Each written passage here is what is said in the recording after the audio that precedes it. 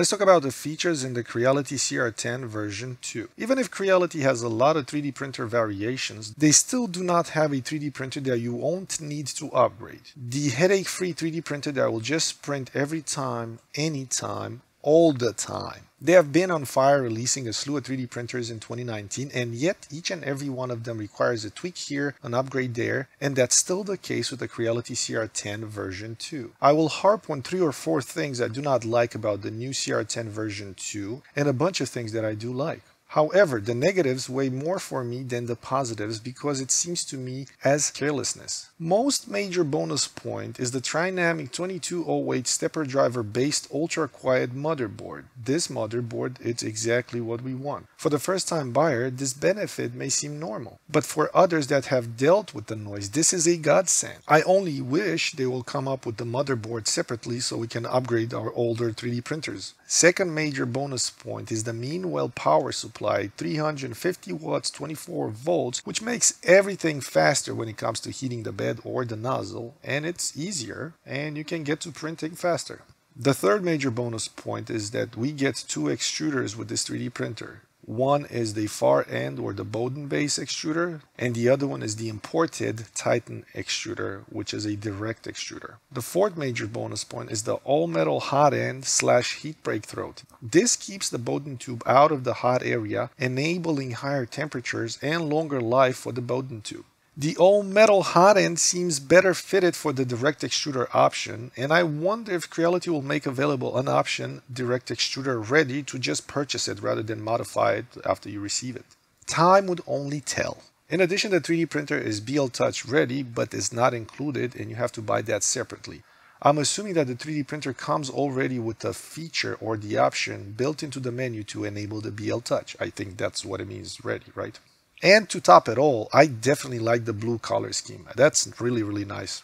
Overall, this 3D printer has many big and small improvements, but I do not understand two of the claims. One claim is that the 3D printer uses 1.5 times more metal. Is that as opposed to the original Creality CR10 or all the 3D printers from Creality? That's a little bit ambiguous, but it's interesting, right? Because that means that more metal means more heft and less vibrations. Secondly, what do they mean by high standard V-shaped profile? I'm curious what that means and I would like to get a confirmation from somebody in the comments below. Furthermore, they reiterate the same story about the high quality V profile selected, more stable, without vibration, smoothly printed out with high accuracy. So this is the thing. I'm assuming that these are the V-slot rails, but does this mean that all the other 3D printers have been produced with poorer processes of extruding the aluminum? Shout it in the comments if you know anything about this process. And now let's go to the negatives, which weigh much more for me than the positives. Number one con for me is the separate power supply or the separate control box. They could have just used the CR10 Pro style base.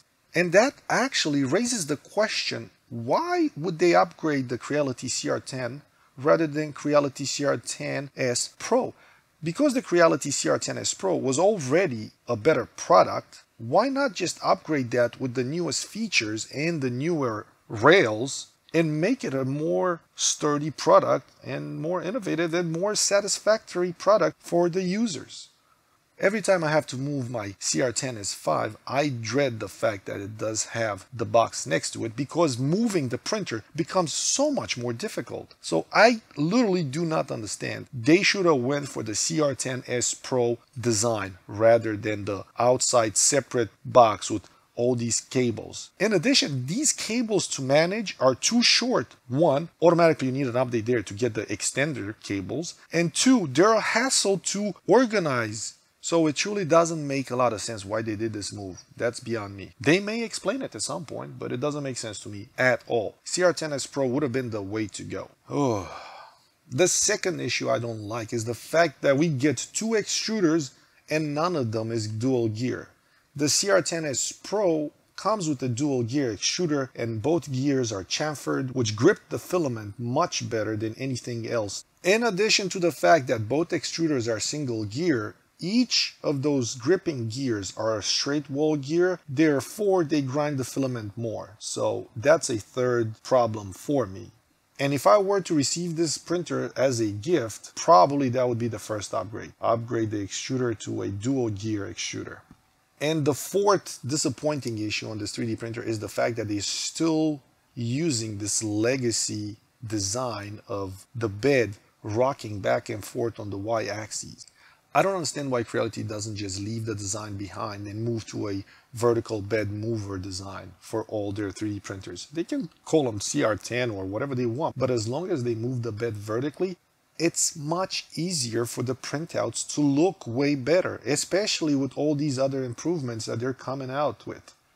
It is kind of cruel that they just came out with the Ender 5 Plus with the same crappy components in the filament path since forever ago. And just as a slap in the face for all those who bought the Ender 5 Plus, now they have better components for the Creality CR10 version 2. They should have released the Ender 5 and Ender 5 Plus with the same components in the filament path as the Creality CR10 version 2. That would have been the normal thing to do to maintain your community satisfied.